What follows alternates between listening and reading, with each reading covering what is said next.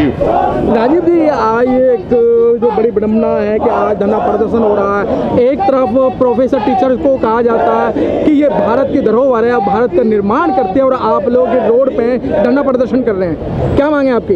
देखिए पहला मांग जो आज के जो प्रदर्शन है ये सरकार द्वारा जो रिजर्वेशन रोस्टर का बदलाव किया है सरकार ने एकेडमिक पोजीशंस के लिए सेंट्रल यूनिवर्सिटी और कर, और डिम्ड यूनिवर्सिटी और स्टेट यूनिवर्सिटी में सारे में सरकार ने रोस्टर बदल दिया है।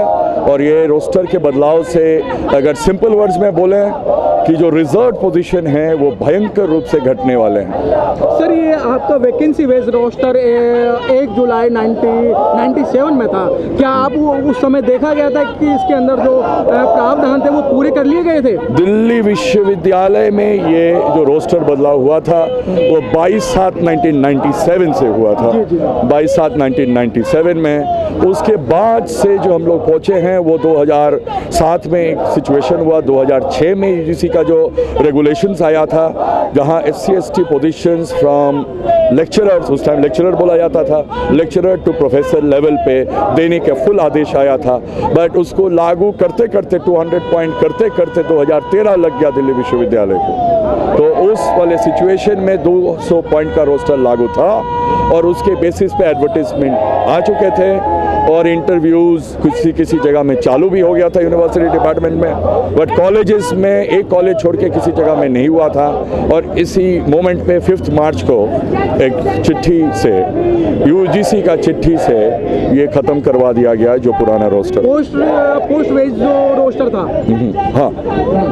तो वो ख़त्म किया और पोस्ट और वैकेंसी से भी ज़्यादा अगर आप देखिए कि 14 पोस्ट जाते जाते शेड्यूल ट्राइब के पोस्ट सातवां पोस्ट में जाते जाते एससी के पोस्ट और फोर्थ पोस्ट के ओबीसी के पोस्ट ये हर डिपार्टमेंट को अगर सेपरेट यूनिट माना जाएगा तो वहाँ रिज़र्व पोजीशन फ़र्स्ट एडवर्सली बहुत इफ़ेक्ट होगा।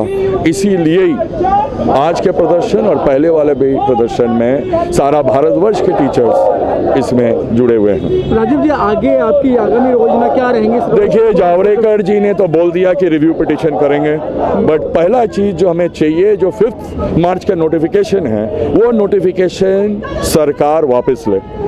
राजीव जी आप एजुकेटेड हैं प्रोफेसर भी हैं रिव्यू पिटीशन की हर एक कोई बात करता है लेकिन रिव्यू पिटीशन भी तो उन्हीं जजेस के पास जाएगी ना जिन्होंने सही बात सही बात है बट आज तो इस नियम को बदलने के लिए कोर्ट में जो है मैं जजेस के कंपोजिशन के बारे में आज कुछ नहीं बोल रहा हूँ बट वो आपका सही प्रश्न है कि वही जज देखेंगे कि जो वही जज हाँ, वही जज देखेंगे जो इसके ऊपर डिसीज़न दिए होंगे। सर जो ये पार्लियामेंट जो हमारे पार्लियामेंट मेंबर हैं उनका क्या मानना है? क्योंकि अगर देखिए- कानून जो बनाना है वो पार्लियामेंट के अंदर बनता है और जजों के हाथ में कोई नहीं है कि कानून बनाएँगे। देखिए अगर आप इंडिविजुअल जिस एमपी से पूछिए आप भी बहुत एमपी से पूछे ही होंगे। मैं तो बोल रहा हूँ मैं आप BJP Congress CPI CPM Janata Dal secular से शुरू करते हुए शिबू सोरेन जी हम्म, सबसे मिले हैं। इंडिविजुअली सारे लोग अपोजिशन के लोग हमारे साथ दिए हैं।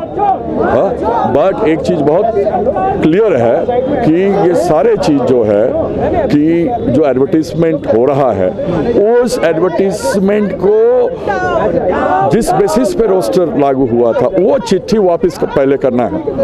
उसके बाद रिव्यू पिटिशन करे, नया ऑर्डिनेंस लाए तो हमारा फाइट वहीं तक है। मतलब वहीं तक है और जब तक नहीं होगा, लड़ाई चलेगा।